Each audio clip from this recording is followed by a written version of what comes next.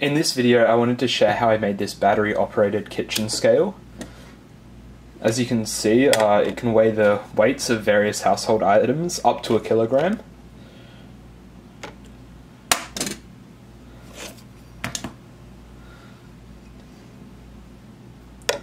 And one nice feature here is if I go and press this reset button, you'll see that it homes back into zero grams. So I'll go ahead and push that.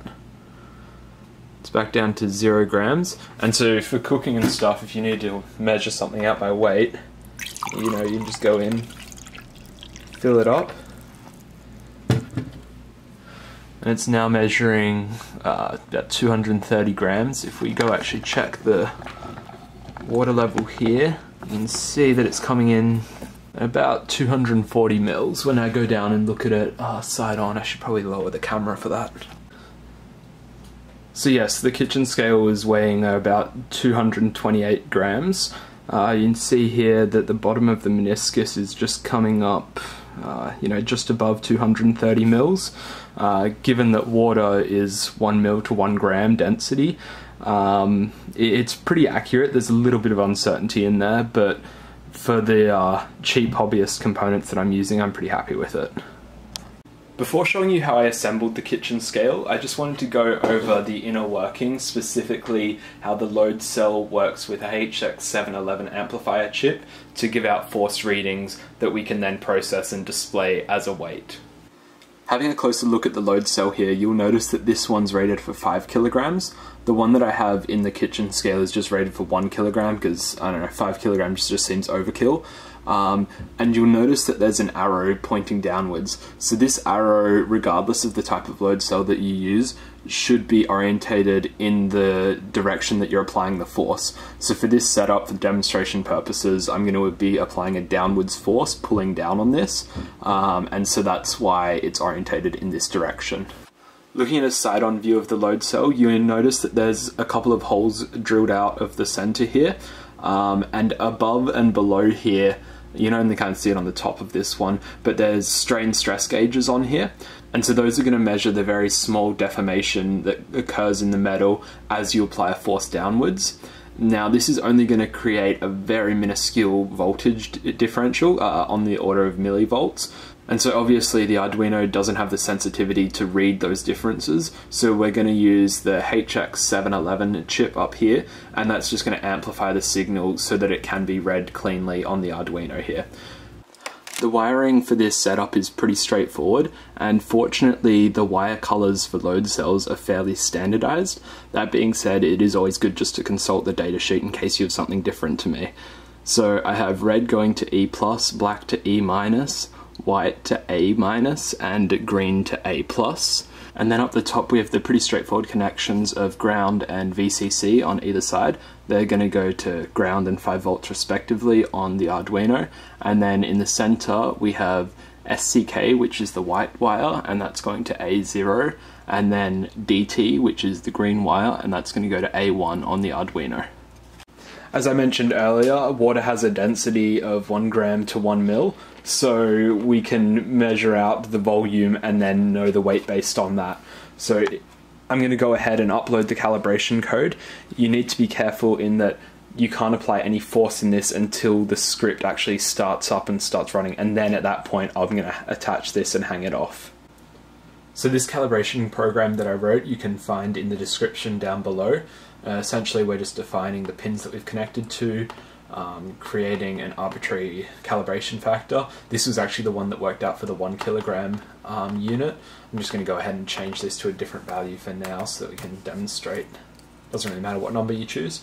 Um, and so yeah, this is the setup and then in the loop we're just going to go read the calibration value and if it's too high or too low we're going to use the keys down here to either increase or decrease the value in increments of 100, 10 or 1. So I'll go ahead and I'll upload this right now and open up the serial monitor. So yes, it's asking us to remove all the weight from the scale, it's now set up. I'm now going to go attach the 750 gram mass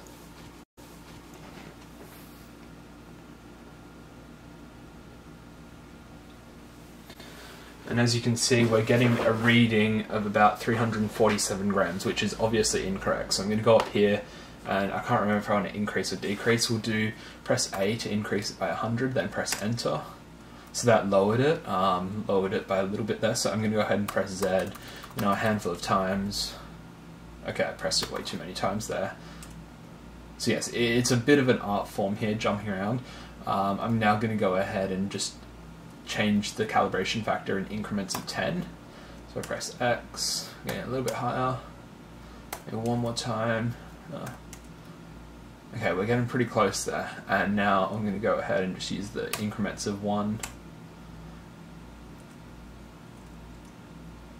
So yes, we're getting, you know, th there's a little bit of uncertainty there, but uh, 749, 750 grams, it's all pretty good. So I'm going to go ahead and say that our calibration factor is at 462 here.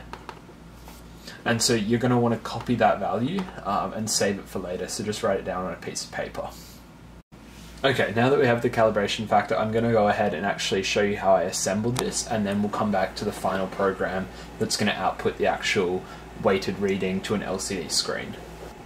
I designed this black plastic frame in Fusion 360, uh, printed it out. I'll have the files down below, but depending on the co exact components you use, you may choose to slightly adjust it or make your own. In the various mounting holes, I've inserted these heat press threaded nuts uh, that are for an M3 bolt.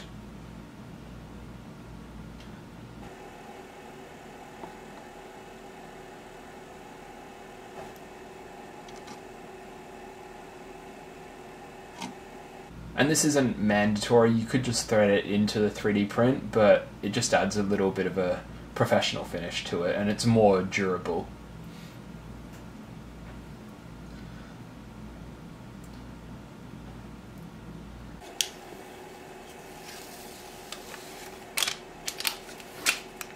As a platform for putting the items on top, I'm using an acrylic sheet and in order to attach a load cell I've just 3D printed this frame that I'm super gluing onto the surface of the acrylic sheet. And this is all pretty self-explanatory, I'm just going in and installing the various pieces. Uh, it is important to note, like I said before, the load cell does have a direction it needs to be installed in, so have a look at that arrow on it. And then at the front to output the information, I'm attaching this LCD screen and the screen brightness is controlled by a potentiometer at the back of the box.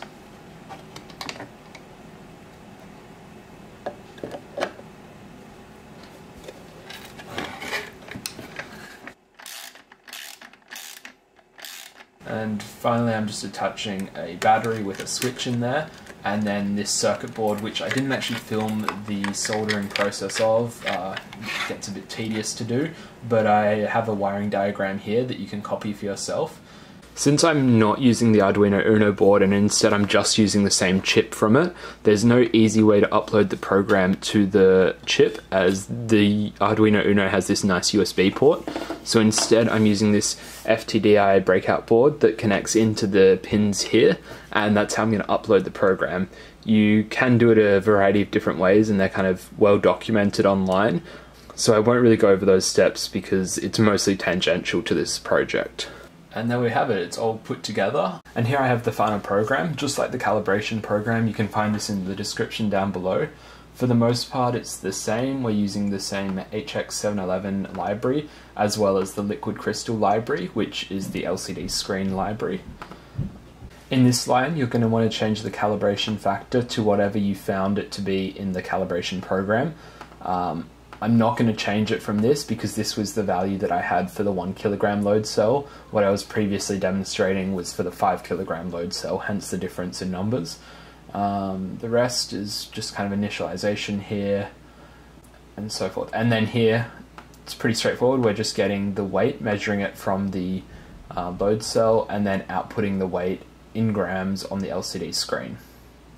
So I'm going to go ahead and upload that now. And there we have it, our own kitchen scale.